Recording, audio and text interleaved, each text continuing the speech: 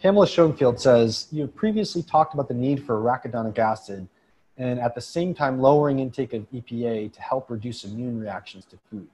What if someone feels that they don't tolerate eggs at all and does not eat liver? Does a supplement with GLA help? Desiccated liver capsules could be helpful, but can you suggest how many per day would be needed? Also, what foods are high in arachidonic acid? If this person also has a high need for choline, i.e., eight egg yolks per your choline calculator, could a low intake of choline contribute in any way to immune reactions to a wide range of foods? This individual has celiac as well, but has been strictly avoiding gluten. Um, okay, so if they have celiac, they probably have a pro-inflammatory uh, milieu in the gut. So that's certainly true. Um, I guess the question would be underlying that, could this person not have enough arachidonic acid? So apart from liver and egg yolks, I think that it is very difficult to get enough arachidonic acid from food. Yes, GLA might help, but there's actually arachidonic acid supplements. And um, for the vegans out there, I don't know if the production process is strictly vegan, but they are derived from a specific mushroom, and you can get them on Amazon. Um, so I think supplementing with arachidonic acid is probably the most direct way to do that.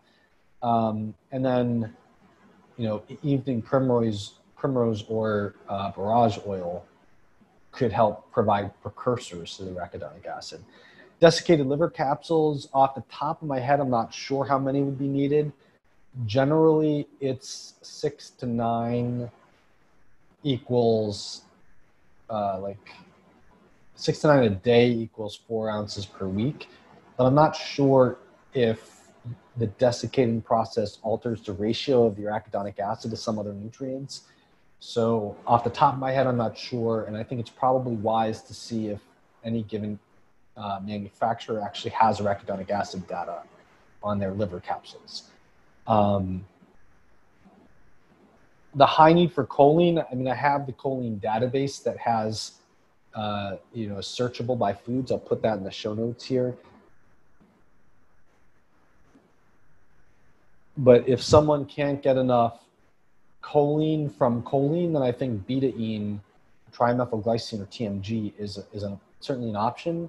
And I think it take, that takes care of a lot of issues. Just, um, uh, you know, just 500 milligrams of TMG will take will really cut into that egg yolk worth of choline requirement. All right, Pam, I hope that helps. Thank you for your question.